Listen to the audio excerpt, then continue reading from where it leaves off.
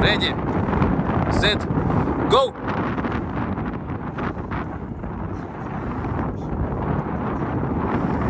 Давайте можно снять. Да, конечно. Запись идет, просто видите, не выходи что правильно. Не включишь другого, ничего страшного.